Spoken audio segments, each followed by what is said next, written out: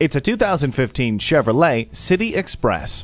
This well-crafted cargo van allows you to get your work done in comfort and style. The standard mobile office center console features a passenger seatback that folds forward to create a flat workspace with laptop and hanging file folder storage, a stationery tray, dual cup holders, and large side door pockets. For added ease and comfort, there's power windows, tire pressure monitor, and split swing out rear cargo doors.